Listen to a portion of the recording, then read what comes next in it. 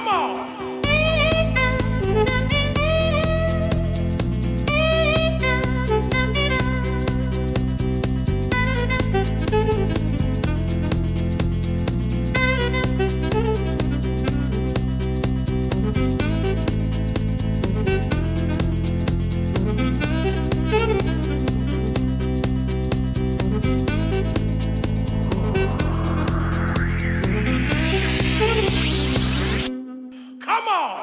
Hello universe, WanderSane here.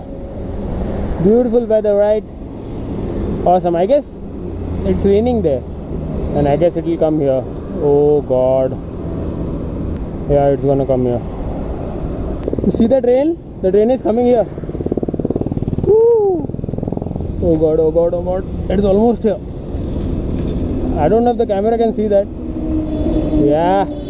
And it is here. Close the bag, close the bag.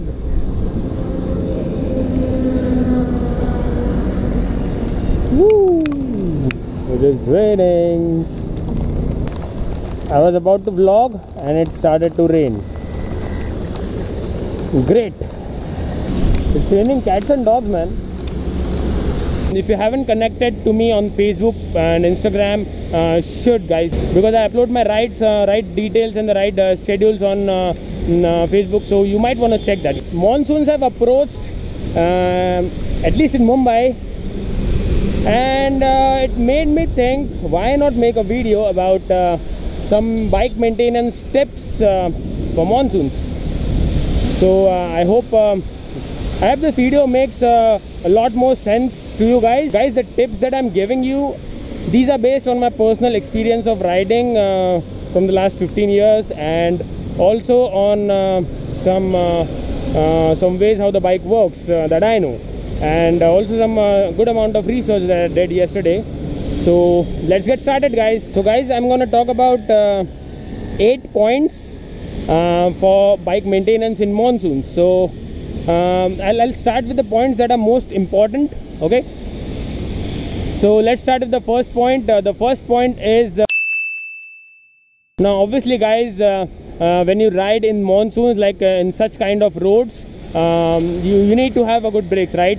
A lot of accidents take place in the monsoons itself and uh, most of the accidents uh, are of bikes. So uh, yes brakes play a very important role for uh, riding in uh, such wet conditions.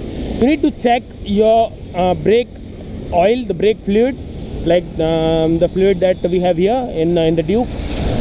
And uh, the front duke front uh, oil is here.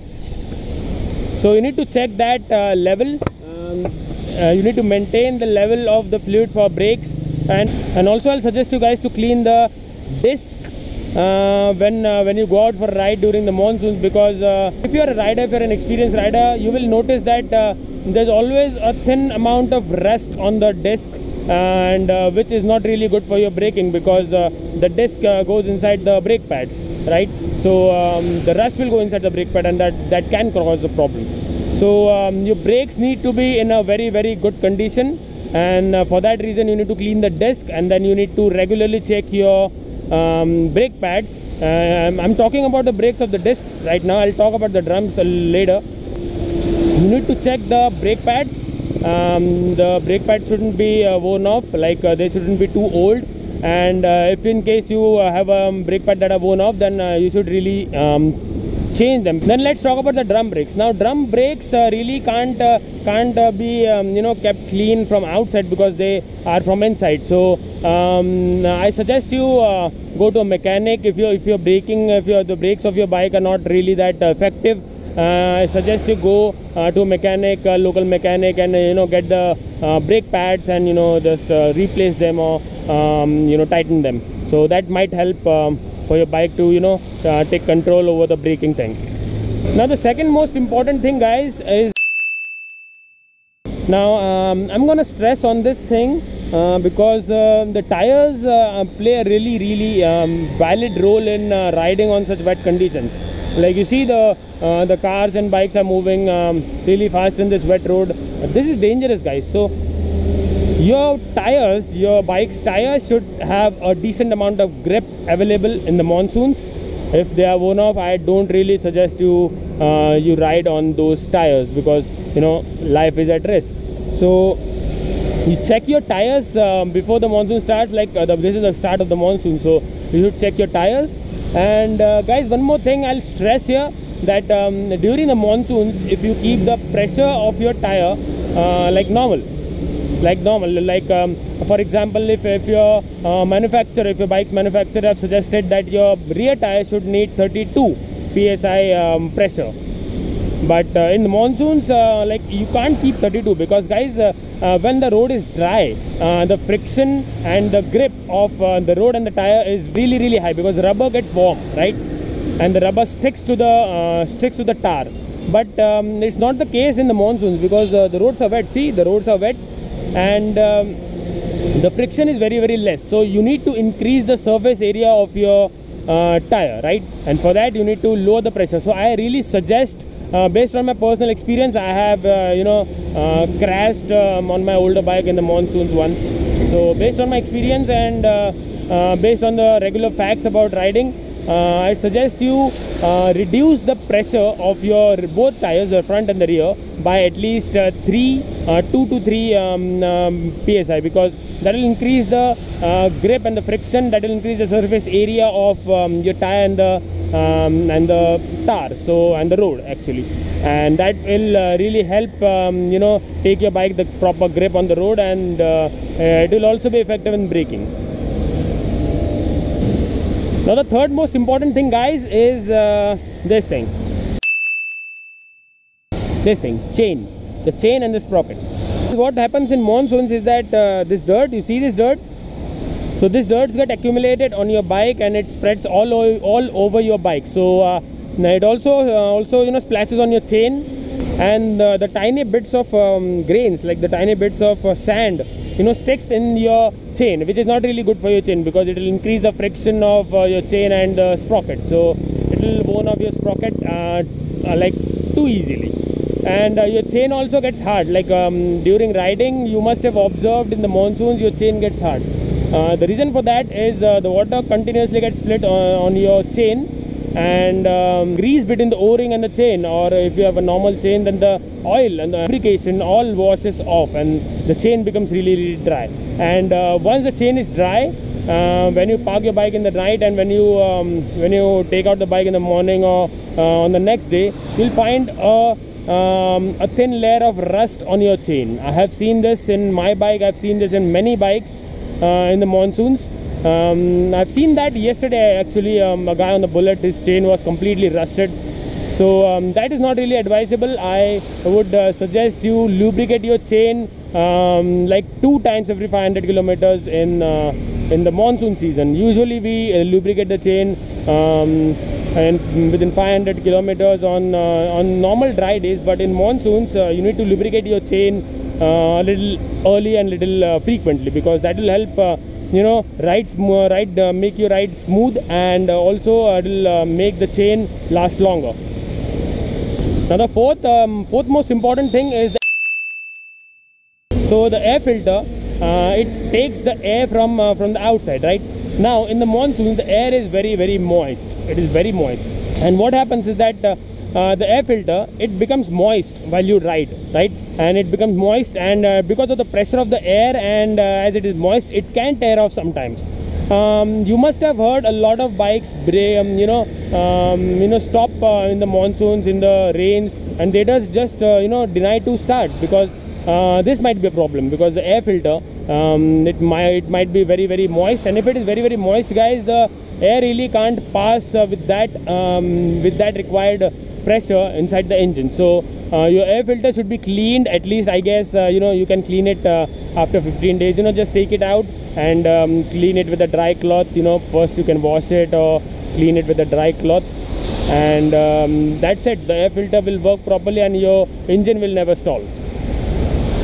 The fifth important thing uh, is the it is generally preferred to service your bike uh, before the monsoons kicks off. And I did the same um, Oggy uh, Oggy F did the same. Um, it is advisable because uh, guys in the monsoons your bike uh, really uh, doesn't keep that well uh, like she is in the dry conditions right? So in the monsoons all the oil on the bike everything gets washed off and your bike really becomes hard. Um, and um, you know the rusting thing it increases. So uh, when you service your bike then um, it gets clean and it gets lubricated everywhere so that it gets you know prepared for uh, the monsoons. So uh, it is advisable to service your bike before the monsoons and if you haven't serviced your bike yet guys uh, you have a lot of time because the monsoons have just started and uh, they will last for like a, um, a couple of uh, months more. So yes please service your bike because that's what she will need to you know maintain herself. The sixth point uh, uh, it is not for all bikes but uh, preferably it is for the bikes uh, which are made up of uh, metal components. Like uh, most parts of it are of metal like uh, bullet thunderbird bullet and many other bikes. So um, you can you can you know apply that um, anti-rust coating that you get in the market for your bike. Um, I don't know the pricing of it because I don't really want to do it on my bike because it is a fiber body bike so I don't have a lot of spots to do that. But uh, people who have uh, bikes like Bullet Thunderbird you know metal bikes like uh, the casing is metal and everything is metal. So um, it is generally preferred to apply that uh, kind of uh, you know anti-rust coating because in the monsoons your bike can get rust anywhere. You know you never know. Like the frame the frame of the bike it is it is of iron it is of steel. So it can get rusted and you don't want to do that to your bike right? So you can just apply your um, that uh, that uh, anti-rust coating. It is not really compulsory but um, yeah it is advisable because it works the purpose. Now the seventh point is so generally what i do is uh, when i ride all the dirt uh, from the from the cars um, you know before me that gets split on my bike. So this kind of dirt and it also gets uh, entered in, uh, in the radiator. So the dirt from the tires it also gets entered into radiator. And uh, the radiator gets uh, very very dirty.